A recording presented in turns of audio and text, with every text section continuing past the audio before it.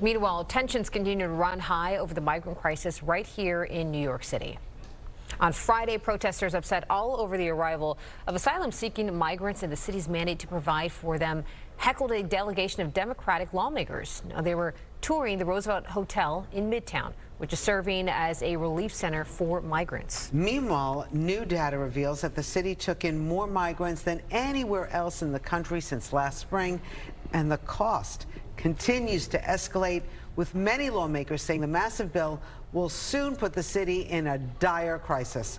Joining us this morning, State Assemblyman Sam Pirozzolo. He's from Staten Island. Assemblyman, nice to have you Good here. morning, Rosanna Bianca. Thank you for having me. Uh, so you're you're based on Staten Island. What are you hearing? What's going on over there? Because all we hear about are protests going on, and some of them are very contentious.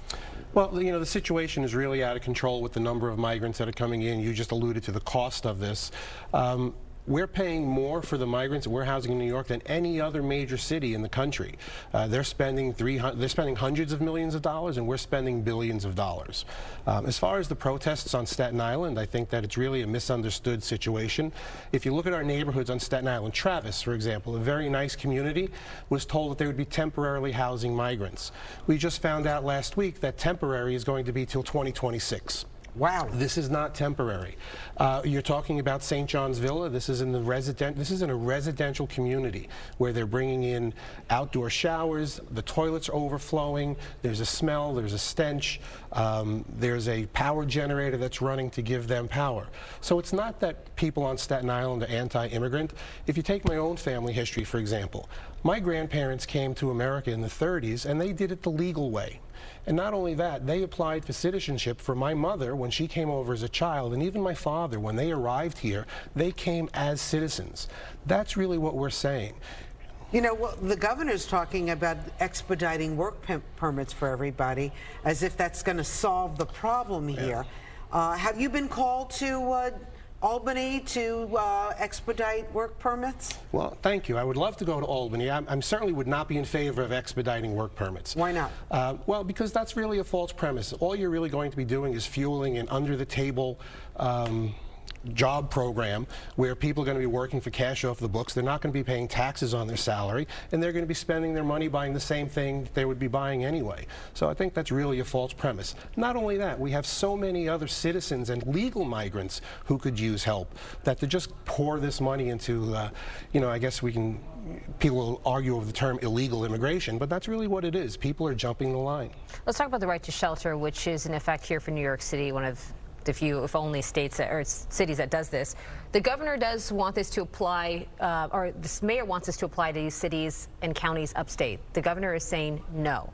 Are those counties xenophobic because they don't want to um, I guess, introduce this right to shelter to its residents? So I don't think those counties are any more xenophobic than the 58% of New Yorkers, as you just saw, who are protesting against the way the governor and the, and the um, mayor are handling this migrant crisis. Mm -hmm. It's not that they're afraid of migrants or they don't like migrants.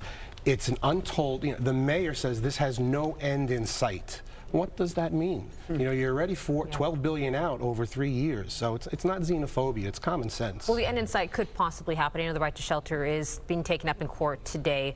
However, let's talk about the right to shelter and your understanding of it, because, you know, this was not voted in by uh, by people of the city. Correct. This is a, a case. It's a consent decree. So why is this still in part and we're in like we're making this happen right now when this is coming from a phrase in the state constitution back in the Great Depression?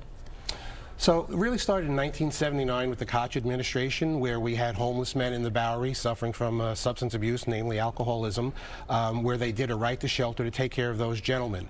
Uh, somewhere about 1981, it was including, uh, went to include women, and somewhere after that to do families. Um, if the mayor stopped paying for this, that would get the case into court because the Coalition for the Homeless through the Legal Aid Society would sue, and then we can have a clarification, a definition of what right to shelter means and who does it mean we should be sheltering. Mayor hasn't the done important part is who's, who's paying for, for those lawsuits because the, the, Coalition for the Homeless, Legal Aid Society, it's heavily taxpayer dollars. Well, you just answered your own question. Mm. So New Yorkers are paying for them to yeah. sue. So, you know, meanwhile, the president's in town. He's going to be here uh, doing the UN General Assembly and also fundraising, uh, but no talk from any of our leaders about bringing the president to the migrant shelters to let that let him see firsthand what's going on? So let me offer some clarity there. I offer for President Biden today to contact me, my office, or any elected official on Staten Island and come to Staten Island, see the havoc that your policies have caused. Okay? Uh, this is not right what you're doing to the migrants, for sure, and it's certainly not right what you're doing to the people. We're talking about, even the mayor says, you know, we want to be the city of yes. Uh, it's not the city of yes when you talk about the disrespect to the, the communities and the people of Staten Island, and even the elected officials. So, you know, while you're here, let's talk about parking meters going up because let's face it, we got to pay for everything, right? New York City is a highly taxed city, and now when you want to park in New York City, wait till you see these meters going up. What, what have you heard about this? So I received notification actually that um, in the city below 96th Street and then the core central midtown, parking is going to go up to $5, $5.50 for the first hour, up to $9 and you know, maybe $8.50, $7.50 for the second hour. I don't remember the numbers exactly. Um, and this is all under the premise of turning over parking spaces and preventing double parking, which will do nothing but increase because who wants to park at a meter for $5 an hour? I know. Uh, well, we do have a statement from the DOT, Vincent Barone. By aligning meter rates with demand, we're going to make it easier for drivers to find a spot because there will be more availability. These new rates will also reduce congestion and double parking while supporting the local economy. What do you say to that? Uh, I, I can only laugh. And that'll be as unsuccessful and popular as congestion pricing. What do you think is going to happen? You think people are not going to pay for it and then they're going to have to go after them because So this really, you know, we were talking about with the migrant crisis, this doesn't really pay for the migrant crisis because this is really the effect of what you have of a socialist government in the city council. So these are people who want to redistribute the wealth, and if you look at the breakdown of the parking increases, it's the more affluent areas that are paying more. So that's really what happened is they're just trying to redistribute the wealth. All right, well, good luck. Let us know if uh, the governor decides to call you guys back a little earlier to Albany to, to deal with this, right? Or- or- because she is she bluffing? What, about calling us back? Yeah. I don't think she's going to call us back. Calling us back, I think, would be very harmful to the uh, Democrat Party because they're going to have to take ownership of this just like they have bail reform. Or also let us know if the president wants to stop by and contacts you about going to one of the migrant I'll call you first. All right, glad to know. Sam Pirozzolo, State Assemblyman from Staten Island, thank you so much for being here. Thank you.